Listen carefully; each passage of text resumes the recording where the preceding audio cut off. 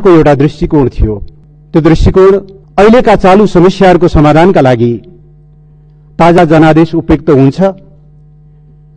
जनताको अभिमत नयाँ ढंगले लिएर नै मुलुकका समस्याहरूको समाधान गर्न सकिन्छ भन्ने उसको बुझाइ थियो। तर सर्वोच्च अदालतले त्यसो गर्न उचित नहुने निष्कर्ष निकालेको छ र सर्वोच्च अदालतको फैसला अनुसार अब हामी यही सदनभित्रैबाट यही प्रतिनिधि सभाभित्रबाट संघीय संसदभित्रबाट राजनीतिक स्थायित्व खोज्न हामीलाई एउटा बाध्यात्मक स्थिति अथवा एक खालको निर्देशन प्राप्त भएको छ। तर सामान्य सभा महोदय म एउटा कुरातिर ध्यान आकर्षण गर्न चाहन्छु। हामी प्रतिनिधि सभा पुनस्थापनापछि जुन ढङ्गले अगाडि बढ्न खोजिरहेका छौँ र सुरुका सुरुका केही बैठकहरू जसरी अगाडि बढे तिनीहरूले राम्रो सङ्केत भने गरेनन्।